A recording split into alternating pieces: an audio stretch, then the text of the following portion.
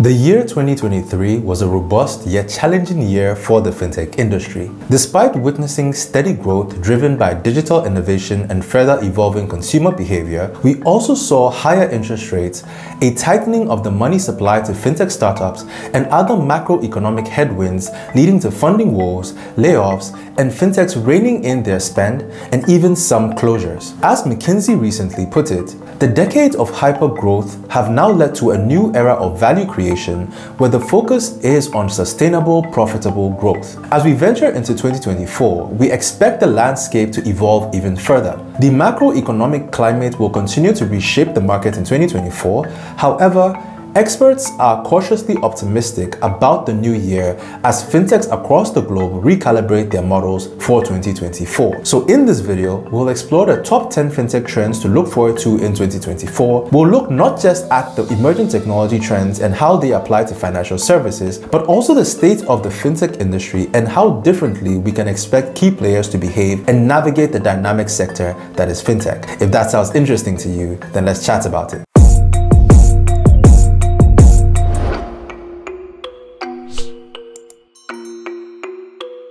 Hello friends, welcome back to the channel. My name is Jeremy and if you're new here and haven't yet subscribed, please consider doing so because on this channel I speak about fintech, digital transformation and agile strategy. 2024 is set to be an exciting year for fintech. Here are 10 of the top trends set to shape the year and the future of fintech generally. First, we have central bank digital currencies set to take off. CBDCs, which are a form of digital currency issued by a country's central bank, are similar to cryptocurrencies, except except that their value is fixed by the central bank and equivalent to the country's fiat currency. In 2024, the expectation is that central bank digital currencies will move beyond theoretical discussions to practical implementations. Specific CBDC use cases will emerge, propelling these digital currencies into the next phase of growth and adoption. Several countries, including Nigeria, Jamaica, and the Bahamas, have already had their CBDCs launched, and larger nations like the European Union, Canada, Brazil, and the United States are actively considering launching their own CBDCs. The European Union is currently proposing a legal framework for their digital euro, and the Atlantic Council's Central Bank Digital Currency Tracker indicates that plans for CBDCs are in progress in many other countries. Regulators like the Bank of Ghana are a prime example of a unique approach to the development of CBDC utility to ensure that the launch actually does bring value to consumers. The Bank of Ghana at the end of 2023 launched a CBDC hackathon after piloting both online and offline use cases of the eCedi. This hackathon invited individuals and teams from the tech community to contribute innovative ideas that leverage a CBDC infrastructure to prototype solutions and develop tools that address real problems for consumers. And it's because of the deliberate efforts from regulators like these that 2024 is set to be a good year for the ascension of central bank digital currencies in the fintech domain. Next are artificial intelligence use cases in fintech. Now, I would be remiss if I didn't include AI to this list just based on all the hype it has received in the last year. Particularly since the release of OpenAI's ChatGPT at the back end of 2022, the world has been forced to sit up and take notice of the potential of artificial intelligence to disrupt several industries in countless ways. But the hype is warranted, and particularly in the field of financial services, AI is poised to receive even more attention in the new year. As the VP of Financial Services at NVIDIA put it, fintech firms and financial service providers generally are prioritizing the imperative to put AI first by bringing the computing power to the data and not the other way around. The typical use cases that will become even further entrenched are the use for AI in fintech for fraud detection, enhanced customer service, personalized banking services, algorithmic trading, improved user engagement, secure payments, process automation, and database decision making. However, what is predicted to take center stage are the use cases for generative AI in financial services. Gen AI models are fairly easy to build. The challenge in fintech lies in applying them with the most impact and the least risk.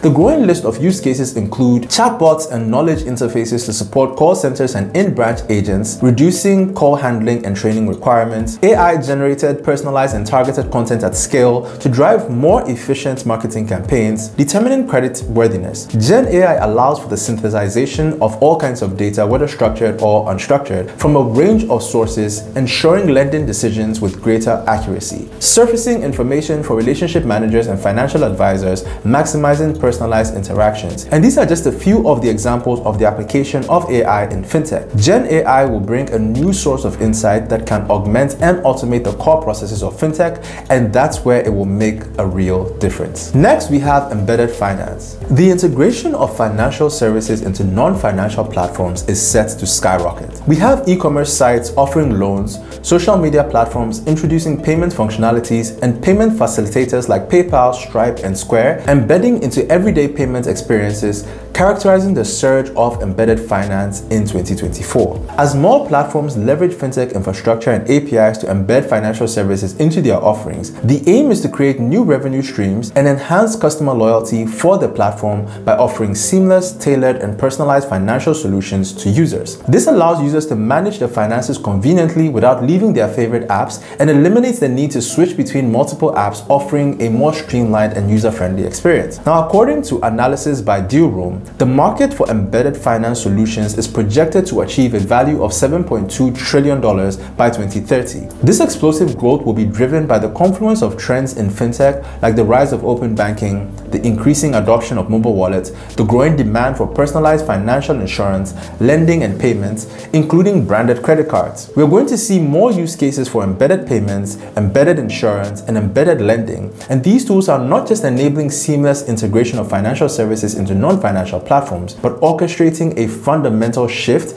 in how we access and manage our finances. Next is the rise of super apps. Super apps are becoming increasingly ingrained in consumers' lives, serving multiple needs within one platform. They offer a one-stop portal for various services with exponential growth expected due to their convenience. Platforms like WeChat, Grab, Gojek, and Alipay have revolutionized the digital landscape by aggregating diverse services. Their continued growth and expansion into various sectors are projected to reach an estimated $887 billion by 2033. The future of super apps looks bright, with many experts predicting that they will continue to grow in popularity and influence in the coming year. Super app providers will likely continue to prioritize user experience and convenience, offering new features and services that make life easier for the users. Integrating with emerging technologies such as blockchain and augmented reality to provide even more value, and as the popularity of super apps grow, competition among them is likely to increase as well, with new entrants seeking to challenge the established players. Overall, we're likely to see this future of super apps shaped by a combination of technological advancements, market trends, and user demand, with super apps having the potential to transform the way we live, work, and interact with each other. Next, we have the expansion of open banking. 2023 was a huge year for open banking adoption. In the UK, for example, open banking adoption surged by 68.2% from the previous year to hit 4.2 million users by July 2023. Because open banking enables consumers to provide third-party providers with secure access to their payments account, meaning that payments can be made through these third-party providers directly from their payments account without the need for cards, and more people using open banking for payments. In 2024, consumer expectations for open banking are likely to increase dramatically. Consumers will demand higher levels of speed, convenience, and security around open banking as a payment method. As a result, there will be renewed focus on the availability and performance of APIs and user interfaces. 2024 will see a stronger emphasis placed on consumer protection from fraud and scammers. A key differentiator to open banking and card payments is the liability protection offered by cards through the disputes and chargeback processes. Merchants and consumers consumers alike want the power to protect themselves with tools and processes to limit financial exposure. As such, to grow in the coming year, Third-party providers will need to develop and implement enhanced risk and fraud prevention tools to help drive confidence in payment channels and mitigate concerns around exposure. Next is buy now pay later becoming mainstream. The rise of BNPL has been one of the key trends in financial services in recent years with the likes of Klarna, Scalapay, Alma, Afterpay, Divido, and ClearPay as some of the key buy now pay later names. BNPL as a financial option powered by fintechs has gained immense popularity globally. Based on research by Grandview, the BNPL market is estimated to have a CAGR of 26% from 2023 to 2030. Being a flexible financing method that enables purchasing products and paying for them in long term without interest rates in some cases, the BNPL model has gained popularity among consumers. This model is particularly appealing to the millennial and X generations who demonstrate a greater sense of financial responsibility and concern for their credit history. BNPL services designed for business to business transactions will emerge as critical financing tools for small and medium enterprises. These solutions aim to address financing gaps, providing SMEs with accessible and flexible financing options. For instance, when BNPL providers partner with retailers and create integrations with e-commerce platforms, sales tend to surge. Moreover, consumers feel more inclined to make a purchase, resulting in a boost in the retailer's revenue. And this is why BNPL has evolved as a fintech industry trend that will further intensify in 2024. Next, we have the maturation of decentralized finance or DeFi. A DeFi's evolution continues, offering more sophisticated and secure decentralized applications or dApps. Expect advancements in lending, borrowing, and yield farming, focusing on scalability and regulatory compliance. In 2024, DeFi enters a transformative phase marked by maturation and expansion. Lending and borrowing protocols will be refined further, decentralized exchanges are set to introduce innovative features, and decentralized insurance platforms might expand coverage and introduce more customizable insurance products. Fintechs have the potential to play a prominent role in the development and adoption of DeFi by partnering on DeFi projects, building DeFi infrastructure such as user-friendly wallets and platforms, and building bridges between DeFi and traditional finance. Overall, the participation of fintechs in DeFi is expected to accelerate the growth and adoption of this innovative financial ecosystem. The collaboration between fintechs and DeFi projects has the potential to reshape the future of finance,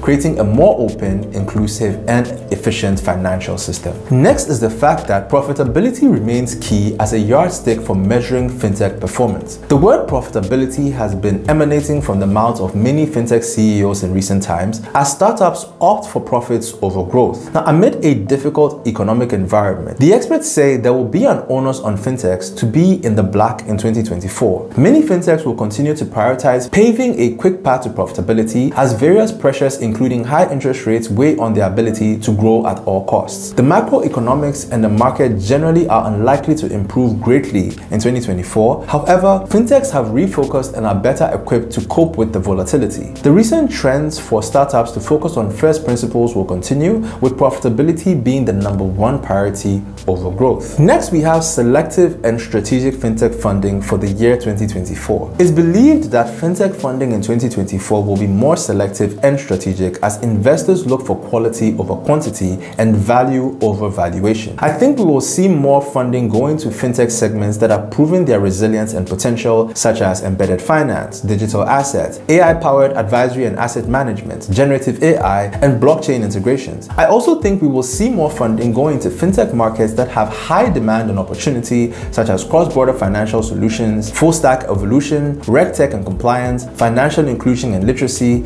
and fintech and health tech convergence. I think we will see fewer unicorns being formed as the market becomes more mature and realistic, and more early stage startups getting a boost as they find their product market fit and niche. I think the overall fintech funding in 2024 will be slightly higher than in 2023 as the market finally fully recovers from the effects of the pandemic and the regulatory uncertainties and as fintech innovation and adoption accelerates. Now finally, fintech consolidation in 2024 will be more frequent and diverse as fintech players look for synergies and efficiencies and as the market becomes more competitive and saturated. I think we will see more fintech mergers and acquisitions both within and across fintech segments as fintech players seek to expand their offerings, capabilities, and customer bases. For example, we could see more fintechs merging or acquiring non-bank financial companies as they look to leverage their licenses, capital, and network. We could also see more fintechs merging or acquiring other fintechs as they look to enhance their value propositions, differentiation, and innovation. For example, we could see more fintechs merging or acquiring digital asset platforms as they look to tap into the growing crypto and token economy. I think we will also see more fintech